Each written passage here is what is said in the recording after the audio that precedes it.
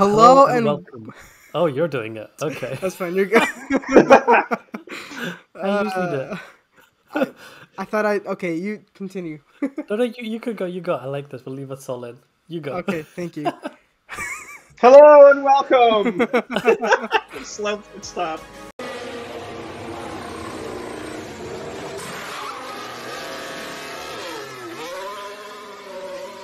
Hello and welcome back to Slow Pit Stop. This is Mohammed, and as you've heard from my co-host Arafat, we are joined uh, with our guest Adam.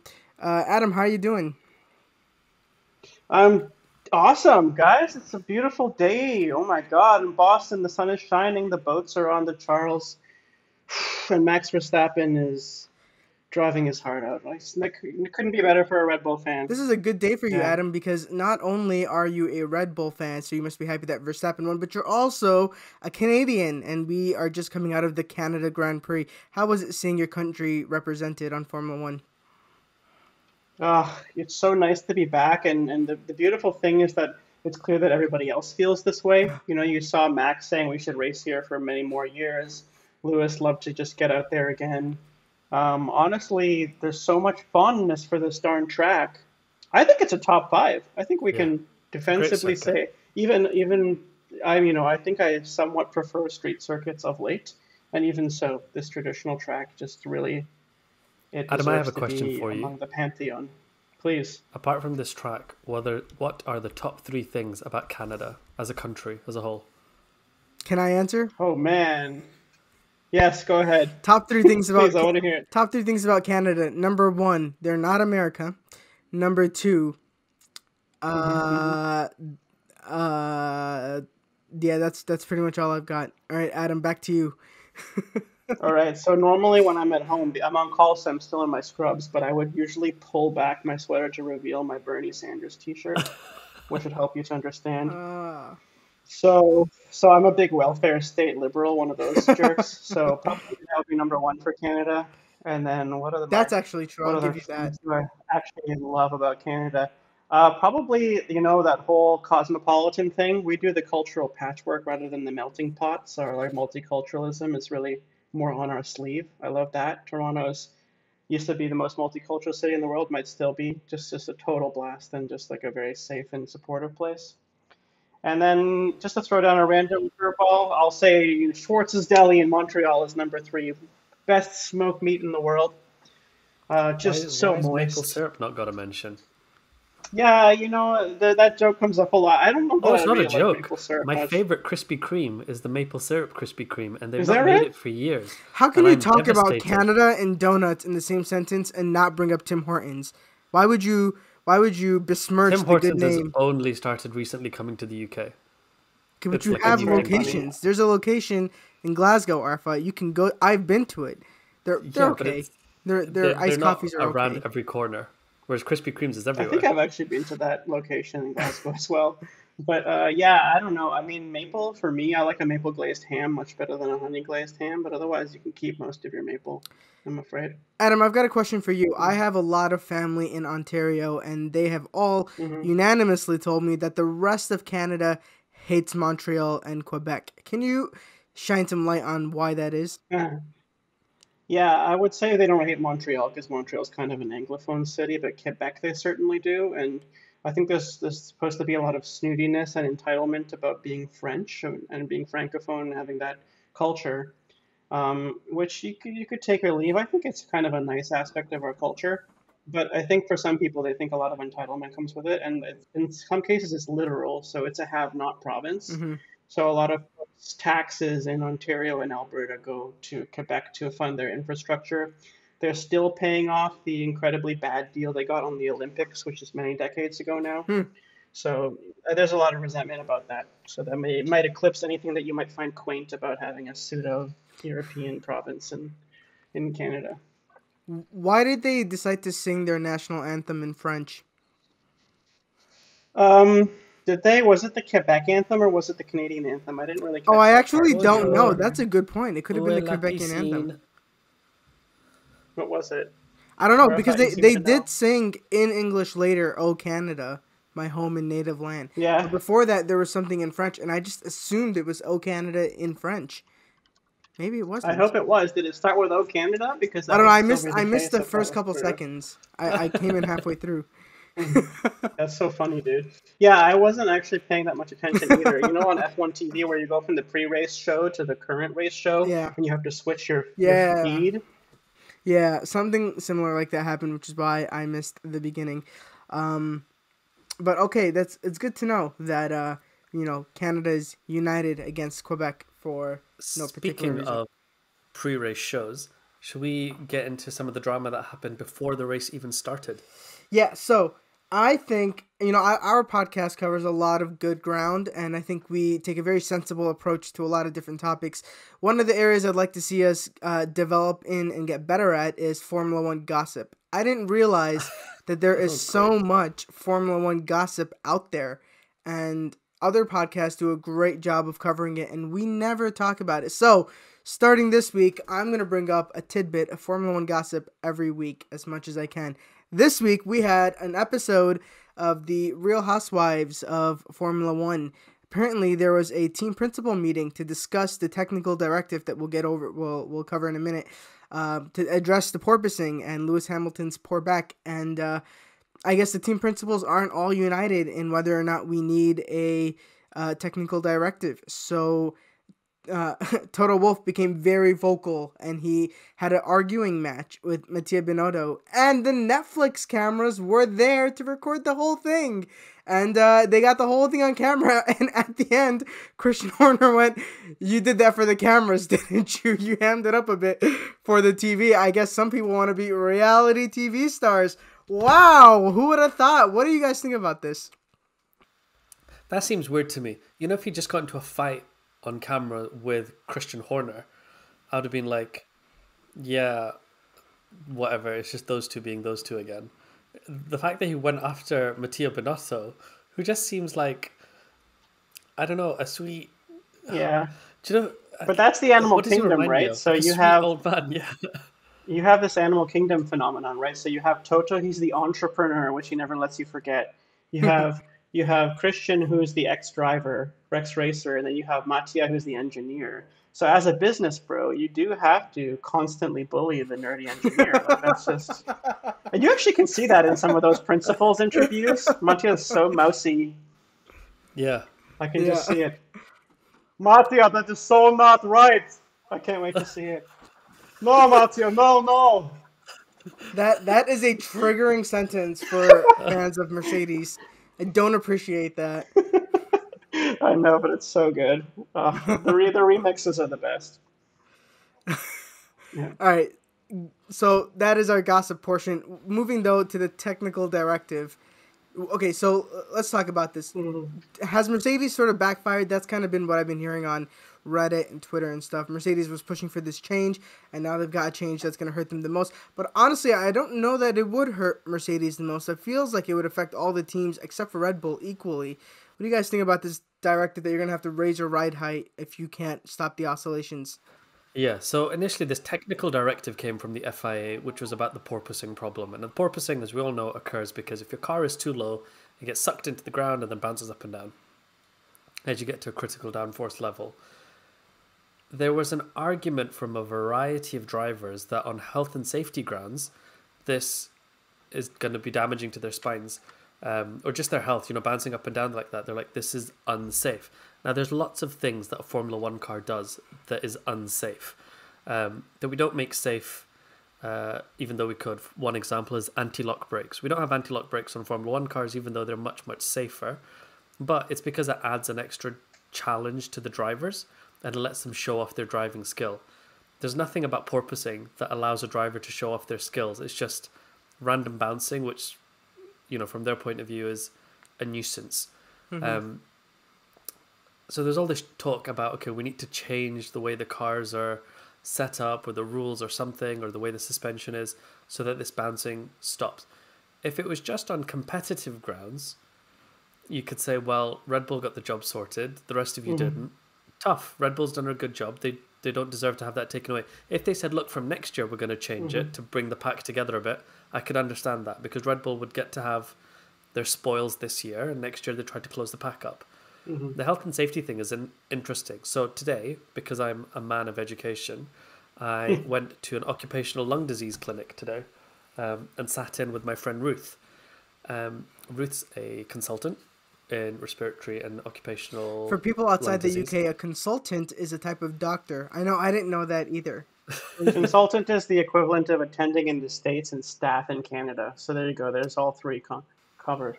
So I was talking to Ruth about the porpoising and the bouncing, and she said there's something called whole body vibrations, which is a problem in agricultural industry. You know, people that drive hmm. tractors and things like that. Yeah. that. Mm-hmm. And she showed me stuff online. So what was? HSE? So Health and Safety England or something. Um, and they have some guidance on how much you're allowed to vibrate uh, in vehicles and buses and trucks. Uh, and they even have an Excel sheet where there's a calculator Wow. where you put in the meters per second squared of x-axis, y-axis, z-axis, and it tells Right. you if you hit the maximum limit. So the Formula One cars are clearly going to go over that. Um, So there is a health argument to be made for this level of vibration, which I think Yeah. Is why the FIA is putting something through. Now, they didn't want to be seen as capitulating to Mercedes, demands because clearly Yeah. Mercedes are the ones that are suffering from this the most, and it's having a mm-hmm. sporting effect on them as well as, as well as a health one.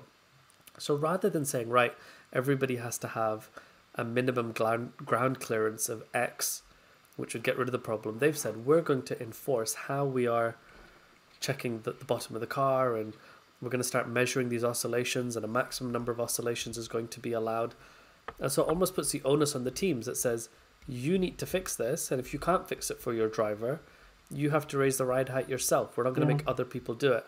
Yeah. and actually all things considered i think this is the fairest mechanism um, that they can do because they are prioritizing driver safety and they're putting the onus on the teams to deal no, with but the I issue. think I think there was a leaked version, like a leaked draft version of the technical directive that came out, and it said you would have to raise the ride height, which would negatively impact uh, like Mercedes and not so much maybe Ferrari as well. It would well. bring it pull Ferrari back. That's the interesting thing. I'm sure that's why they got angry. Is because Charles is saying, "Oh, this doesn't bother me," um, and so he finds it totally tolerable, and they Yeah. have a great advantage. You guys have all of this, like you know, sky is falling talk about how Red Bull are going to run away with the championship, but I think it's still Oh, incredibly, are. incredibly close. Um, but but this change, you know, if it had to be affected over the course of this season, would be very detrimental to Ferrari's hopes. yeah Um, Hmm, Otherwise, it's going to be very tight to the end. You know, Well, we can get to I think there was a lot of stuff. So I was listening to the race podcast, and they were talking about how maybe Mercedes somehow found out information earlier because you can put like a second floor stay on the car, maybe. And mm-hmm. Mercedes were the only people that showed up with one to Canada. Like I don't even know what a floor stay is, mm. let alone what it does. They also showed up with a floor that had like a giant hole punched into it. Put it on for like two laps in FP1. It was horrible, they took it off. So I don't know what they were thinking with that. You know, it's funny because like we were saying before, they don't have infinite money to just throw at this problem to make it go Yeah. away. But they've definitely given up on this year, so they're just throwing infinite money at the problem to see what they can make go away. Because now they they have no reason to make this car good for this year. I think they're focusing fully on next year. Yeah, I have to say, when I listened to your pod, your last podcast, Azerbaijan, loved it, loved every moment of it. But Awesome. When you. you were talking about, uh, you know, rolling, you're changing the regulations, you know, other than for health reasons, that definitely bugged me because, you know, obviously Mercedes benefited greatly from having regulations that favored them for, you know, essentially seven, eight years in a row. So I was like, come on, guys, you know, if they built the best car, they deserve it in much the same way. You may have to deal with eight years of Red Bull winning, although I do think it's very close with Ferrari anyway. Hmm. But I do think that if there's a credible, you know, health concern, you know, we can't take it just on Lewis's radio calls alone, but it is it is obviously troubling to watch.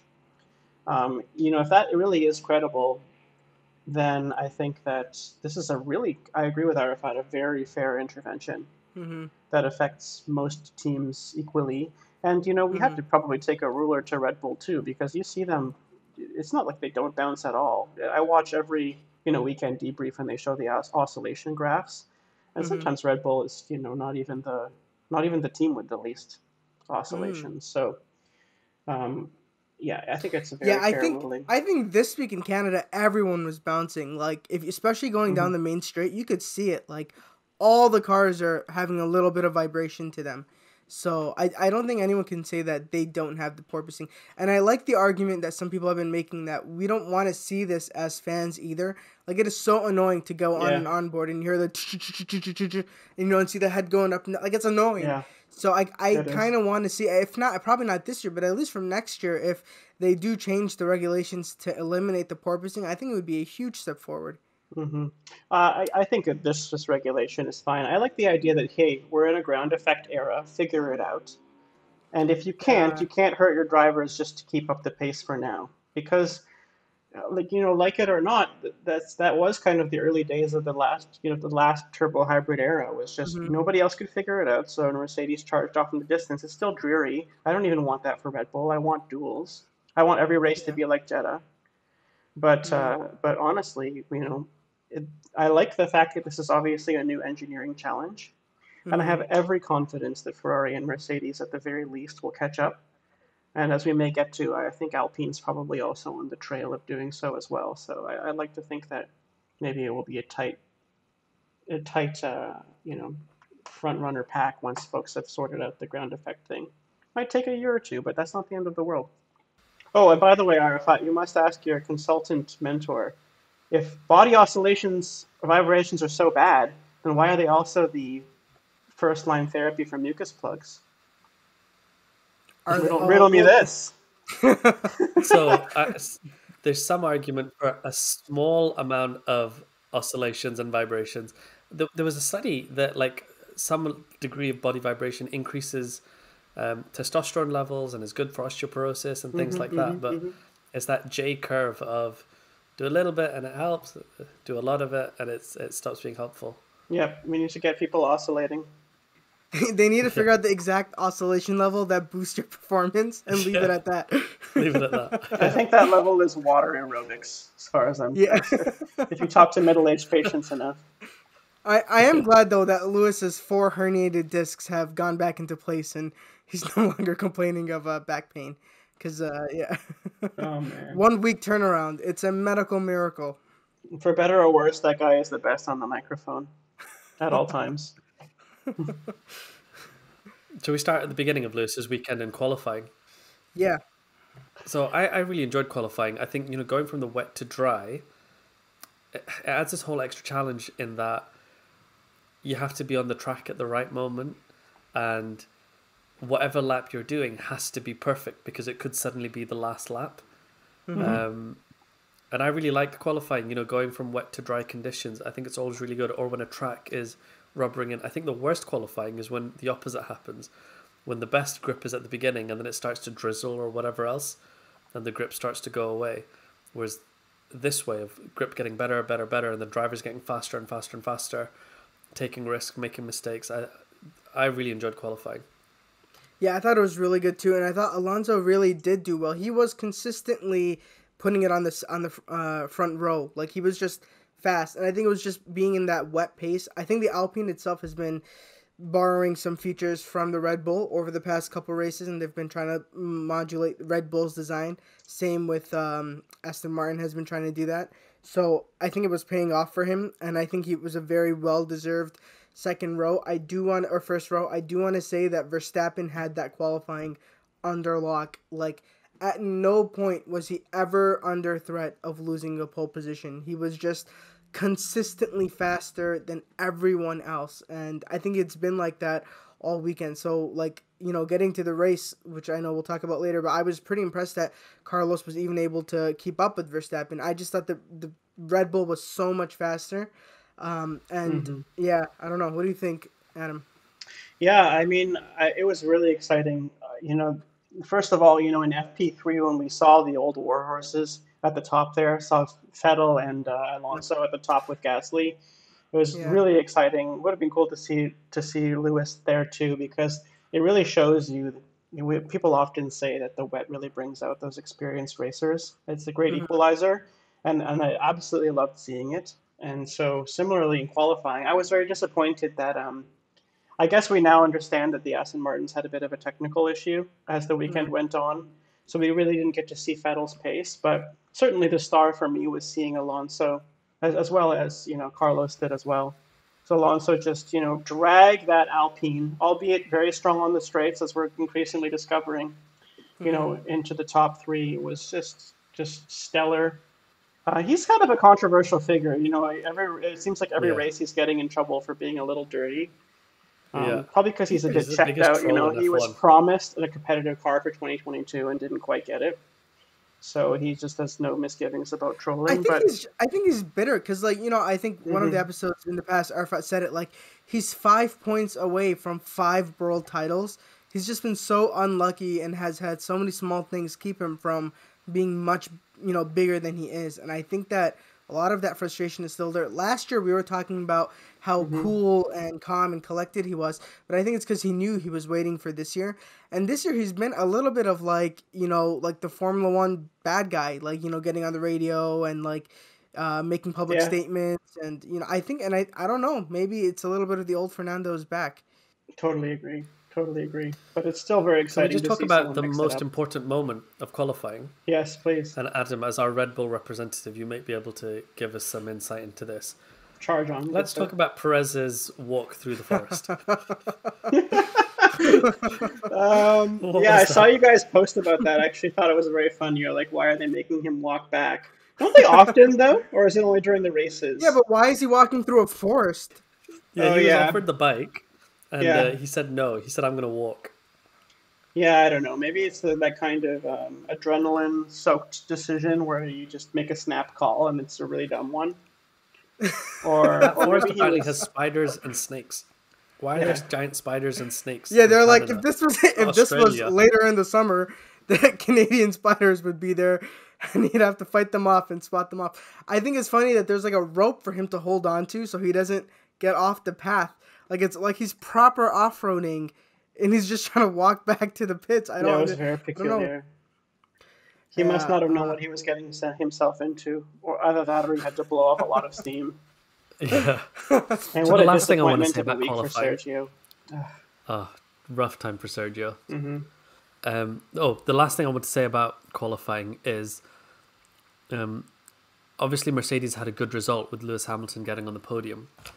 Um, but I think actually they were still about 0.7, 0.8 seconds a lap slower than Ferrari and Red Bull, and I think mm-hmm. the safety mm-hmm. car helped pull the leaders back towards them. Otherwise, they would have just been in sort of no man's land by themselves. And I think Mercedes, the battle between Russell and Hamilton, is being won on Saturday. You know, Russell had this whole Mr. Saturday reputation. I think a lot of it is because, you know, they're trying alternate setups and things. And we know this week Hamilton was experimenting and had a different setup again. Um, but I think whoever wins Saturday goes on to win Sunday. Although there's a lot of mitigating factors, the different setups and whatnot, I think qualifying is probably the weakest part of Lewis Hamilton's arsenal. And it sounds strange to say because you know he holds the world record for most pole positions. But I just I don't know, you know, in my mind when I think of people that qualify amazingly, my brain still goes back to Red Bull Vettel. Yeah. And with Hamilton, whenever you were watching qualifying, you never knew if it was going to be him or Rosberg. You know, it was always kind of close between them. Whereas when Vettel was in that Red Bull, you knew Webber was never going to get pole. Mhm. Um, and so I, I, I don't know why I still think that qualifying is not well, Hamilton's he strongest no, part. I think he I I think you know I was saying this before. That actually, the last time Adam was on, Hamilton has a skill where in qualifying when he's finding the groove in that last lap of Q three, he can pull out like two tenths of extra pace and put it on pole. He can do that. We we've seen him do that before. And I think what's going on now is he's taking these experimental setups. Plus, he's got a car that he's not used to, so Yeah. that's putting him behind. Look, when when Russell pulls the experiment, he qualifies eighth. You know, when it's yeah, Hamilton yeah, yeah. doing No, I'm not saying Hamilton is bad. Like, i if you had It's a okay, top trumps that. card, you Yeah. know, Hamilton's race pace would be 10 out of 10. Hamilton's overtaking would be 10 out of 10. All these stats would be 10 out of 10. I'm just saying, his qualifying, I'd give it 9.9 out of 10. Sure, if Valtteri could If you had him to have one weakness, I think it's there. But it's not that he is weak in qualifying. It's just of everything no, I, that I, does. I don't think. Yeah, yeah. So I, I see what you're saying, and I just think that you know, in the future, like let's say Silverstone onwards. Silverstone is when Mercedes is supposed to come out with a massive upgrade package. Like you know, it's supposed to be everything that they've been building towards. It's still Yeah, yet to see so. whether or not. Yeah, it's like I said, it's yet to see whether that package will emerge. But that's what it's supposed to happen. If that happens, let's say it doesn't fix all the problems, but it fixes it enough that you know he doesn't need to Mm-hmm. collect data every week, then I think we can see Hamilton and, and Russell really fight for qualifying positions. But I think you're right because had Hamilton qualified ahead of Russell in the last few races, that would have been his podium each time. So it's really just whoever qualifies ahead tends to be the one that finishes ahead. And uh, I, I think that's just what we're going to see going forward. And like I was saying before, I do think we've reached the point now where Mercedes is saying, you know what, we're not really focusing on anything beyond P3 in the constructors, and we're just going to, you know, fix this problem from now until the end of the year so we have a good car for next year. I, I don't see them realistically pushing for beyond that. Speaking of qualifying ahead and finishing ahead, should we talk about Verstappen versus Carlos? Yes. Um, should we I think that was great. You know, the last few laps, I think it was really, really good. I- If, if to our listeners, Adam has disappeared, um, much like Sergio Perez's engine, and we are we are patiently awaiting his return. So what did I miss? Are we still talking about maple syrup? I'll, I'll send you a, a 12 if you send me Irn-Bru. Yes. Uh, we we were talking about Verstappen versus Carlos, and I was saying the last fifteen laps I thought was amazing. You know that tension of can Carlos do it? Can Verstappen hold them? The only thing I would change because there was a lot of cat and mouse going on about charging the battery versus when you deploy the battery, and I'm sure the graphics were there, but you know in the excitement of it, I probably wasn't seeing when people are deploying their battery, when they're charging it up. And I think that would add something to the viewers to be able to see Yeah. a little graphic Yeah, that's showing that. like they used to, you know, in 2009 when they had the KERS thing, you could see it, the green bar charging up and then deploying. Yeah. Just something to let us see what the drivers are doing. That would Yeah, you know, I. I was trying to I was trying to even look at the back of the cars to see when they're harvesting, but with the angle changes and stuff, you can't always get a good shot of the back of the car to see like when they're doing that. But I think it would be really really cool. And one of the suggestions people have had online about like improving Formula One and improving DRS is having like two minutes of DRS that you can use throughout the race, and you mm. just get to choose when you use it. So it's not just in certain areas. So you can use it to defend, you can use it to attack, but it's two minutes for everyone. And I think in a battle like this, had that been the case when you don't know when the other person is going to use DRS, I think that would have been really, really cool. Um, I think it would have really made this battle more lively. Because, like, imagine Verstappen's in front and he doesn't know when Carlos can hit DRS and just gain that extra bit of power. And same with Carlos, you know, he doesn't know when Verstappen can hit DRS and just get out of that, you know, gap. So I, I think that would have been really cool. But I did That's like what it was like with KERS back in like 2009, 2010 when they used to press KERS. You didn't know when the other driver had it or didn't have it. Mm-hmm. Oh, so why has that? Why did they take KERS out? Is it because they introduced DRS, so they took took away KERS? Yeah, so the KERS got automatically incorporated into the new hybrid system. Hmm. Because that's what the hybrid system was before the Yeah. 2014, Right. 2013 2014 regulation. They had this battery power and they would use it to give themselves a little bit of a boost. And then they went with much bigger hybrid engines Right. just to deliver constant power rather than a tiny bit of a boost. And you know, I think Formula E does that now too with their battery boost. I think that would they have like the overtake button or something, or Yeah, they still have an overtake button now uh, in Formula One, but that's the thing. We don't get to see when they're pressing it or not pressing it, or if we do, the graphic is so small that I've not really noticed it. No, that yeah, we don't get to see. it. I think it would be really cool to see, and I think put more power in the overtake button, and you know maybe depower DRS a little bit. I think that would be really really cool. But I like the battle between Verstappen and Carlos.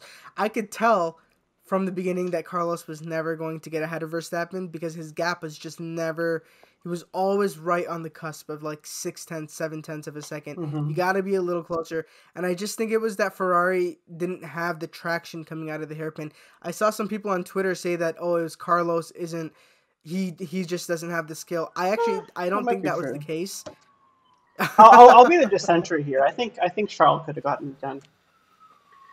Really? Yeah, think I, I really do think so. It was, you know, there was a there was a funny moment in the post race interview where Max said, "Oh, I made a mistake," and I looked in my mirrors, and Carlos made the same mistake. And I was like, I was like, oh, you know, that says a lot. I mean, honestly, we, we kind of know that there's that talent gap, right? We know it's Max versus Charles. And uh, yeah, that's and pretty funny. I didn't know he said yeah, that. I don't think it's definitive for sure, but I do think that there is a little bit of a talent gulf there. You know, you've got um, we've got uh, Charles versus Max, and we've got the battle of the Spanish speakers, as Sergio would say. Yeah. All right, let, let's be a little bit more dramatic. Adam, do you think Lewis, if he was in the Ferrari, do you think he could have closed that gap and overtaken Verstappen? Yeah, quite possibly. You know, I think uh, I think Lewis Lewis and anybody's rear rear view mirrors also makes them nervous, so they're more liable to make a mistake. Uh, you know, Max is probably one of the coolest guys on the grid now, but even he would lock up sometimes when he was facing uh, Lewis. Um, so Yeah. yeah. I think I think we're talking about peers when we talk about Max and Lewis. Lewis is probably even a little bit better given the experience. I don't know when he'll peak over and get, you know, slower on the reflexes like like um, Vettel seems All right, be. episode over. He just said Lewis is better. I mean, pound for pound, you know, not every race, right? But uh, I mean, obviously, by the end of last year, Max was direct dragging a, an inferior car to the occasional victory. So there's there's there's definitely a lot of credit to be given there. But overall, I mean, Lewis is the goat. So yeah, I think I think go. maybe And he could have done it. Yeah. yeah. What do you think about the, the the fight at the end? The fight was awesome. You know, I have to say that uh, again. You know, I'm a Red Bull fan, not necessarily like a con- an unconditional Max fan, and so part of me was kind of hoping to see Carlos take his first win. That would have been so meaningful for him. Sergio's been getting them. It, you know, he's due.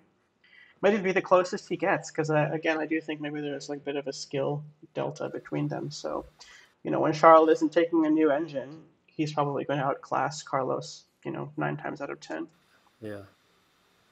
Speaking of being a Red Bull fan, y what was the moment that, what you know, whatever feed do you guys watch? Do you get Crofty and Brundle as the commentators? Um, I you know it doesn't seem guaranteed. I have F1 TV. This time I got Jolyon Palmer, but sometimes I Oh, that's certainly exciting. get Crofty and Brundle. Yeah, I, I don't know what decides it. It's really weird because I'll be on F1 TV. I got Jolyon this time, and then after the race, I watched the highlights from F1 TV, my same subscription, and I got the replay with with Crofty and Brundle.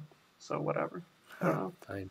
Anyway, there was a minute where Crofty he mixed up Verstappen and he called him Vettel in the Red Bull, Oh, that's funny. and I was just like, "Oh, it is a bit of a blast blast from the past, isn't it?" And you know all this stuff of like Verstappen t- have, now has more podiums with Red Bull than Vettel ever did, and all this sort of things. To me, that really sort of cements that we are in a completely different time to the Formula One that I used to watch.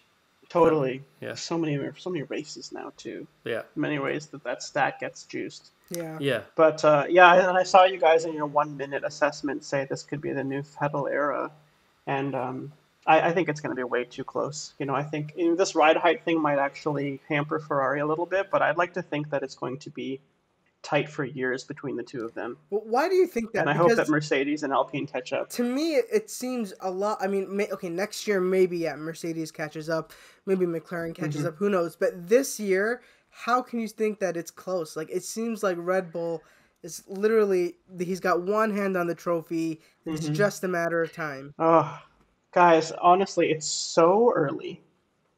This the, the pendulum has swung both ways. Do you remember when it looked hopeless for Red Bull? Yeah. and they had Yeah. count, countless. It's But so darn early. is- Red Bull now again has one more retirement than Ferrari. Yeah. Again, Yeah. reliability is totally not there.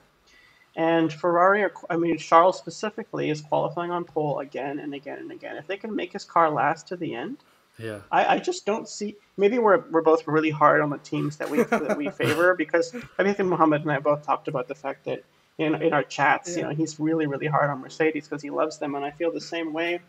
Whenever Helmut Marko goes and runs his mouth in the media, I'm like, oh my god, you're cursing us all. he's, he's, he's, he's unbearable. It's unbearable. That hubris is just like begging to be to be crushed. But yeah, I just you know yeah, it could be that I just I worry for my boys, but I just think that the Ferrari qualifies better. And Charles has had a bit of bad luck. He's just, but he only has as many retirements as Max does now.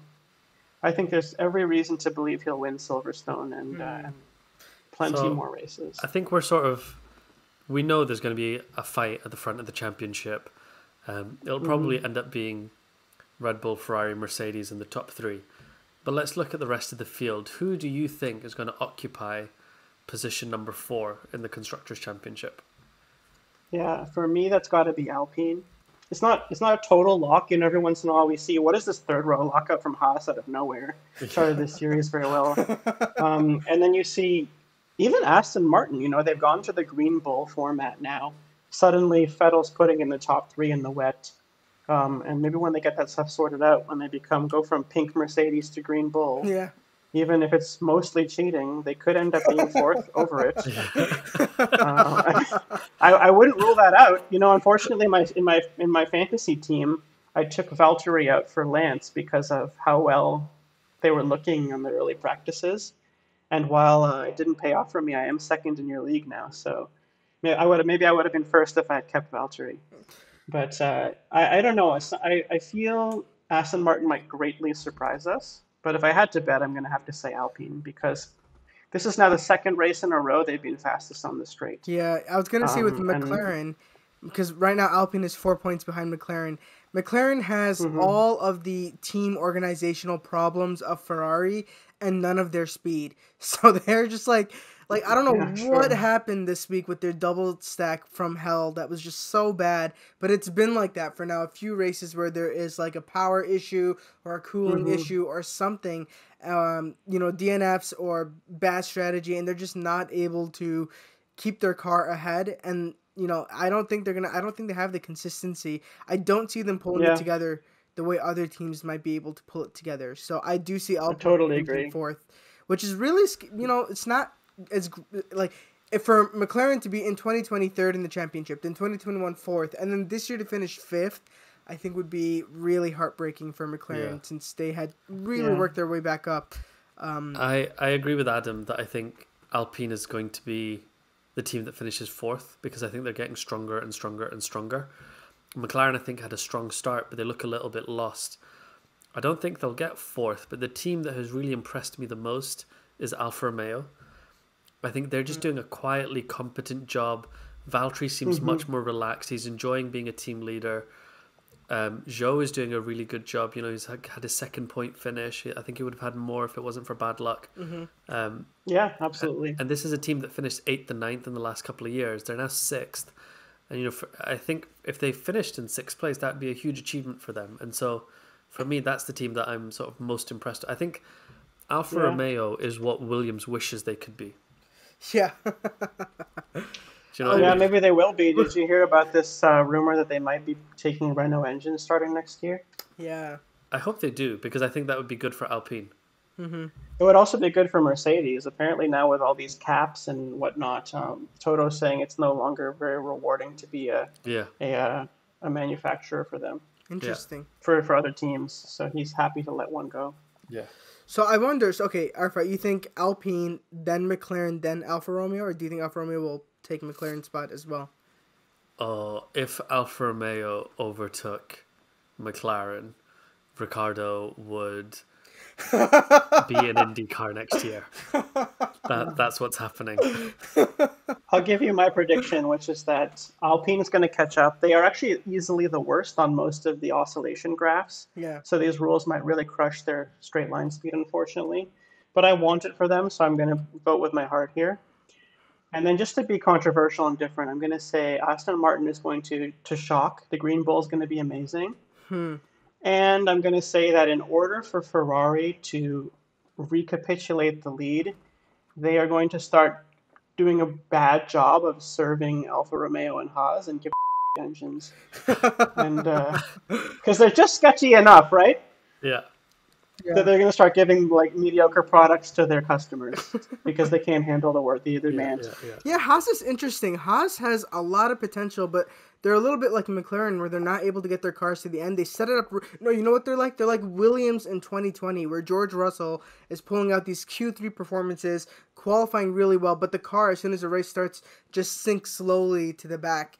And Yeah. I think that's what is going on with Haas this year. So my prediction is Alpine in fourth, I think McLaren, then Alfa Romeo, then AlphaTauri, then Aston Williams.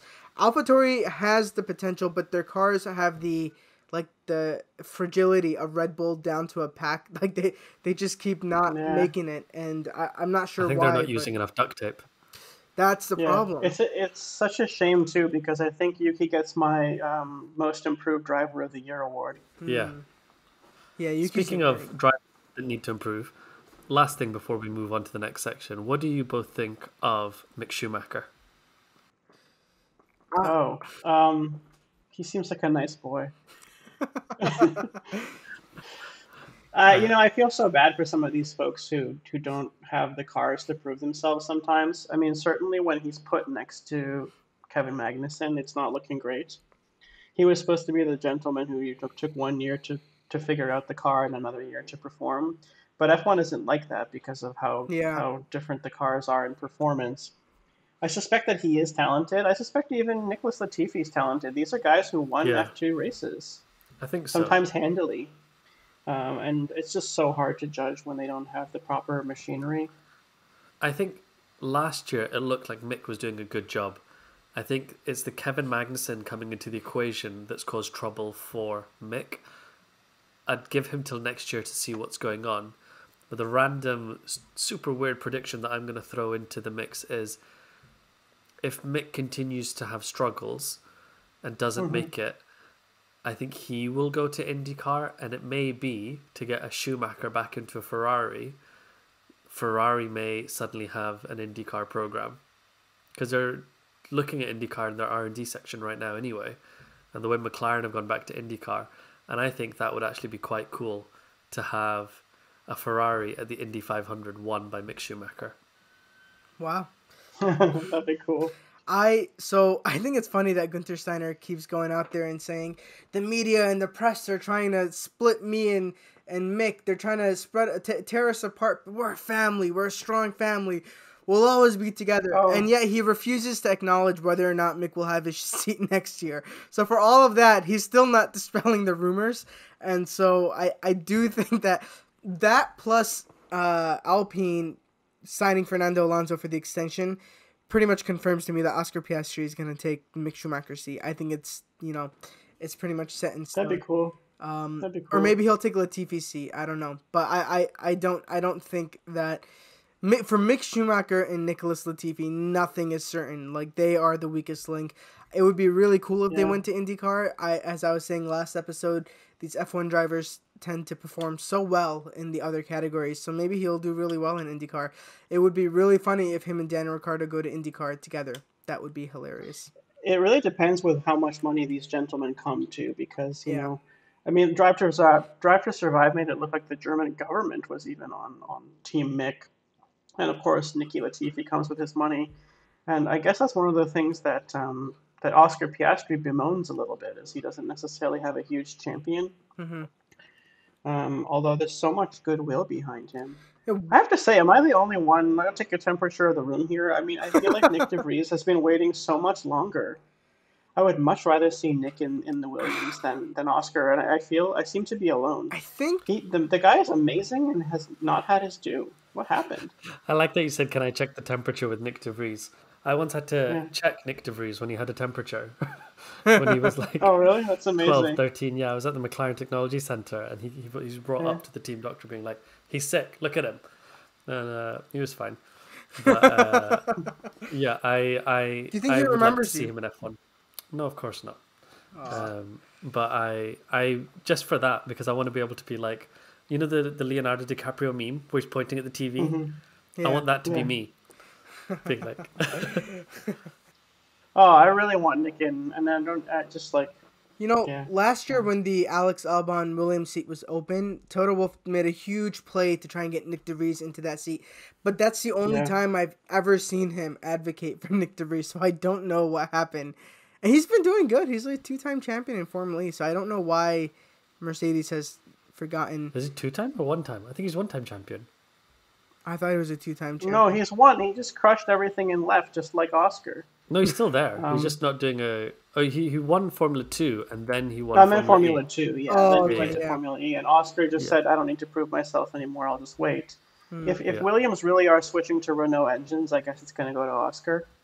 But um, I think it's a real Who's shame. the other guy that lost? out? Oscar Oscar hasn't done his time yet. He's still like he looks like he's 16. Lando Norris looked like he was 12 until the year he got into Still Formula does. 1.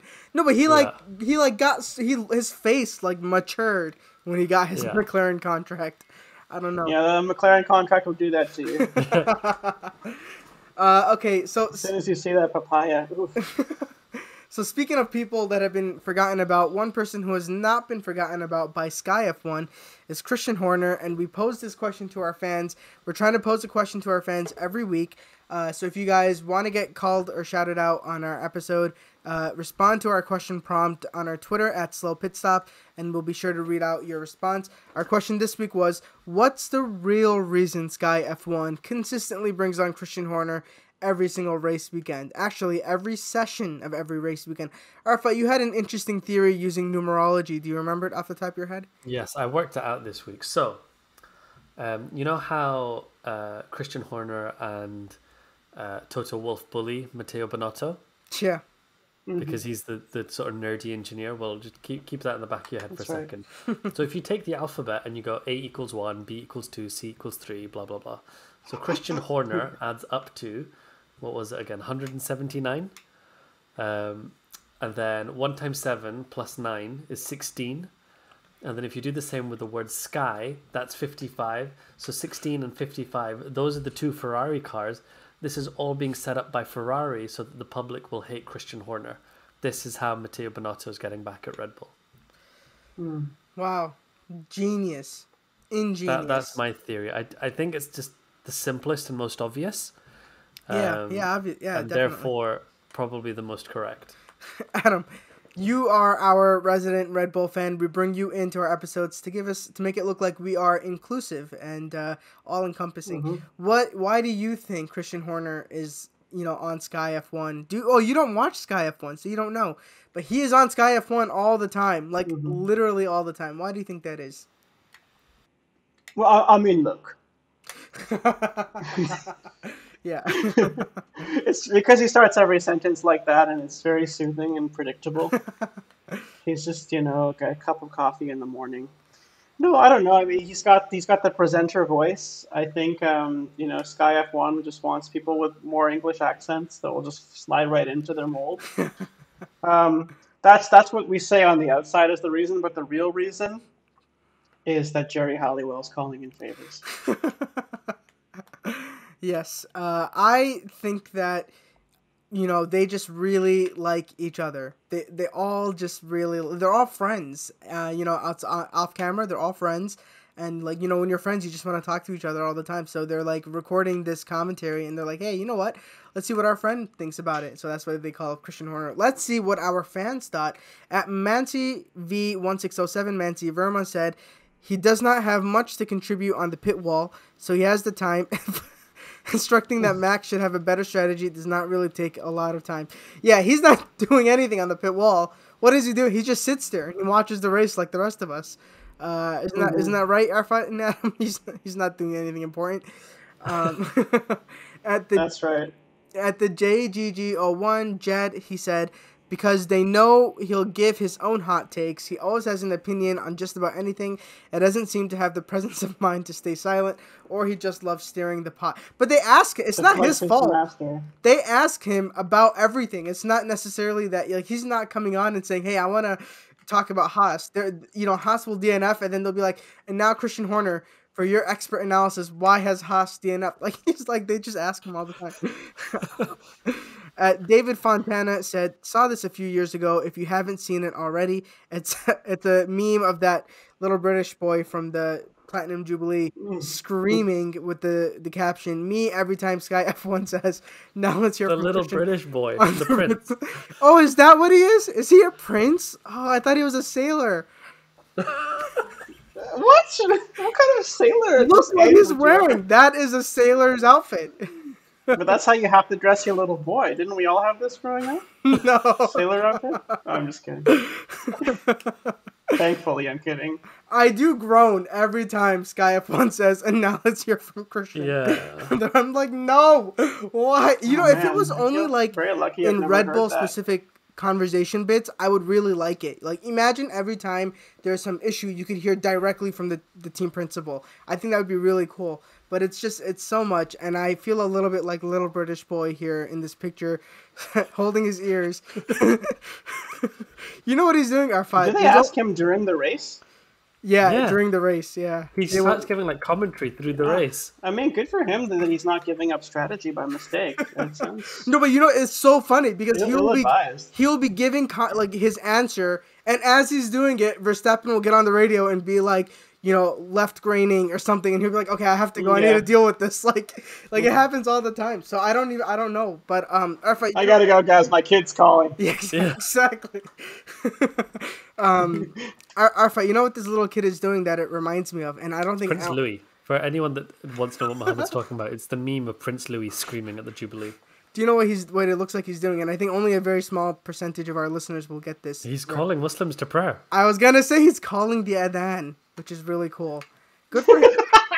Good for him, little little British boy. What's his name? King Louis. King Louis the Prince Fourth. Louis. Prince Louis. Um, and then Dave Fontana continues. It's purely to feed his ego. You see him hanging around all the time in Martin's grid walk, etc. Please come to me. The rides on the horses with Geri Halliwell and DTS, all just to feed the massive ego. I think it's because he needs to rep Red Bull everywhere he goes. It's not his ego's fault. It's Red Bull's fault. Uh, Super Nats at Natalie Andrews said he's got their nudes. Oh boy, that's uh, that's, a whole can. It's got a lot of likes. That's did get, did get a lot of likes. That is uh, our F1 gossip topic for next week. Whose nudes does Christian Horner have? Uh, at Johanny98 said, Easy, he makes himself available for Sky. And to be fair, he is the boss of the current world champion and leading both championships, and he's never holding back. So it's entertaining, even when he talks sometimes. Um, Alpha, you can censor that out. But I, you know, that would be fair, but Toto Wolff never took on air in the middle of the race interviews when he was leading both championships. So I do Otmar think used to do it when he was at Alpine, didn't he? No, Oh, where that's did You right. he? mean he uh, did. Racing Point? Yeah, when he was at Racing Point, he used to do he some. did used to take it. You're right. He and you know a few, races ago, Mattia Binotto actually took it too. And uh, I remember then Cro- Crofty was like, Mattia Binotto is our visiting team principal of the week. He'll be giving us our answers this week. Implying that every week they bring on a different team principal, which is an absolute lie. That is not Yeah, the case. it's like seventy percent Christian Horner, thirty percent everyone else. That's like specials of the week at hospital cafeteria. yeah, yeah. yeah, it's still just something beige. You know, Something beige made of potato. Whenever either of you talk about your hospital experience, it's so identical to mine. I can't believe how universal these things are. It's so funny. It's incredible. Yeah. um. Okay. At uh, Farinho underscore ten says they're sleeping together. Yeah, like I said, they're best friends. I think you know all best friends sleep together. It's just how it is.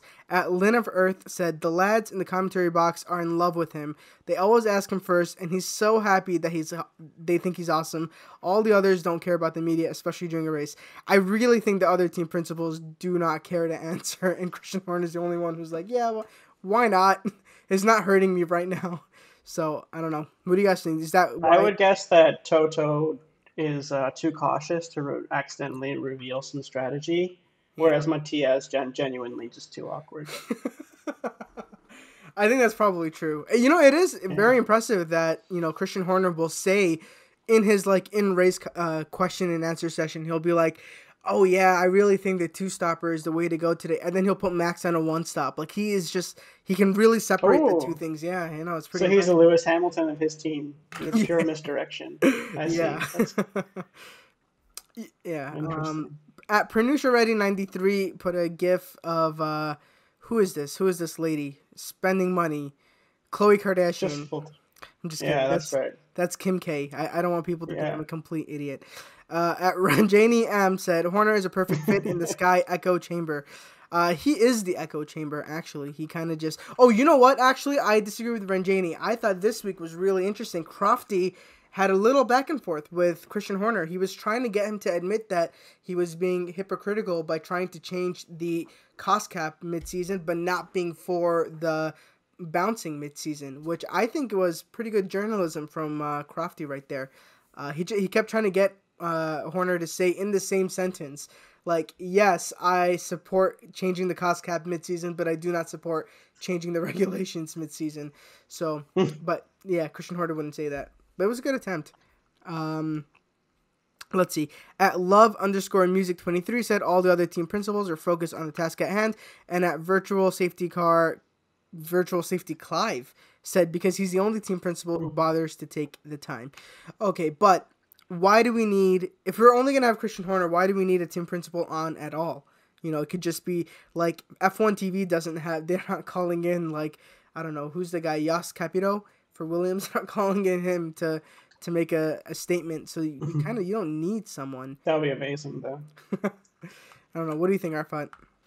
It'd be more cool Yeah. to listen to, you know, like strategy engineers or these sort of people, because, like you said, if if it just becomes generic non-talk again and again and again, it becomes boring because it's not adding anything. Whereas if people actually say, or you know, maybe it's a, a retired race engineer or a retired strategy engineer that says, if I was sat on the Red Bull wall, these are the things that be going through my head. This is the process that we go Yeah. through, and it sort of enhances our sort of enjoyment while we're watching.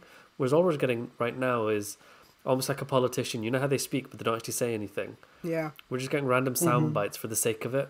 And I think that's why it's irritating to people. Because even if it was the team principal of a rival team that you didn't like, if they're giving you new information or, or a, a, an interesting insight into things, then you'd be like, oh, actually, I quite like hearing this. Whereas all we're getting is just sound bites of nothing. Yeah. Do you think there's a solution to this, Adam? I know it's a problem you just heard about right now. But, uh, Fix it. Intervene. Where will you put the wire to fix Christian Horner? uh, Christian Horner is one of those things that reoccludes no matter what you put in it. I'm afraid. And that's the because- That's because you uh, you absolutely cannot treat the occlusion without addressing the source. Does does Christian Horner have any of his own opinions, or are they just all regurgitated um, Helmut Marko opinions? Oh, Oh, gosh. That's that's the issue. I know- think uh, Helmut is the media king. They probably have a little huddle, and he's like. "Okay, young Padawan, let me tell you the art of misdirections this week." I will say that up until this episode, I really, you know, I dunked on Christian Horner all the time. I thought he was media hungry and dramatic, and I've I have to come to terms with the fact that Toto Wolff is equally dramatic. I can't believe it. He's Oh on yeah, camera. I come on. I didn't think he. wa- I thought I. You know what? I guess I was mistaken. Um. Speaking Yeah. of Toto Wolff being dramatic, I know we're Mercedes fans, but I saw a meme this week that actually made me laugh quite a lot. And it was the clip of Toto Wolff from Drive to Survive, you know, at the end of last year, where he's like, everyone has a target on their back. Yeah. And they were just like pictures of like Lewis Hamilton with a sore back and Daniel Ricciardo and Pierre Gasly all holding their backs on their back. That's amazing. That's very funny. he wasn't lying, but uh, I I will say as a Mercedes fan, this one this joke hurts, but it's pretty funny. Uh, I've there's Yeah. another clip from Drive to Survive where he's like talking to Russell, and he's like, "The good news is you'll be in a Mercedes. The bad news is you're racing Lewis." And people have changed it around to, and the good news is you're racing Lewis, and the bad news is you're in a Mercedes. So I, That's fair. it, it hurts, but it's pretty it's pretty funny. Um, we have tried to predict the future of the season and where all the teams will finish. We ask you guys to do it every week in our Formula One Fantasy League. Uh, let's see who won this week. This week's winner for the Canadian Grand Prix was Custom Creations One. Uh, Tim S. I wonder what kind of custom creations he puts together. What do you got? L- let's mindlessly speculate while I look at his team. I think he builds custom birdhouses. Beautiful. What about was, you? I Adam? was gonna say F1 it sounds extremely quaint, small town kind of name for something. So I'm going to assume it's uh, it's essentially uh, handcrafted teddy bears that all smell of potpourri. Very, very Can you nice. imagine an F1 car as a birdhouse And when the bird sits in there to eat the seeds, it looks like the bird is sat driving Oh the my god. That would be amazing. Let's get this guy to build it for us because that's what he does. He had. I'm had really down. I love it. he had a uh, how many points did he have this week? He had 206 points this week. His constructor was Ferrari. Uh, his team was Lewis Hamilton. Wow, that's you know the first time that's probably paid off. Carlos Sainz, his turbo driver. Pedro Gasioso uh, with 11 points. Magnussen and Schumacher. Why did Schumacher lose two points? Oh, because he DNF'd. Uh, sad time, Schumacher. Uh, that was his team. He is going to be getting a free print of the Canada Grand Prix track. That's correct, right? I thought we still have tracks Yes. that we're handing out. Yes, yes, yes. Okay, so that is our Formula One fantasy. If you guys want your own track because you didn't win or just because you like 3D printed tracks, be sure to hit up Little Prints 3D on Etsy and use code Slow Pit Stop to get 10% off. You can get a really nice Canadian track. If you don't want a 3D printed version of a Canadian track, this is what you do. You take a rubber band, you drop it on your table. That shape, that's the shape of the Canadian track. So uh, that that's the other thing you could do. Otherwise, And if you don't accept that, we will go to Kuwait and we will find you in Grid B. did you say Kuwait? Why would we go to Kuwait? Isn't that what that flag is? I don't know. Isn't that what their flag is? What is their flag in Kuwait? Isn't it just like stripes and a triangle? Yeah, that's what Ingrid B has. The. uh, Oh, Ingrid place. B. Oh, I wasn't even looking Yeah. at. Yeah, Ingrid B. Go. Yeah, we're gonna go to Kuwait and find you, Ingrid B. Ooh, what you signs? Hit, hit us up. We're trying to give you free stuff. anyway, guys, follow us on Twitter and Instagram and TikToks at Slow Pit Stop. Thank you everyone for joining us. Thank you, Adam, for joining us. We'll see you all next week in Silverstone. Bye, everyone. Later, guys. I'm gonna go enjoy my Lewis Hamilton brand Monster Energy drink now. I've earned it. Amazing.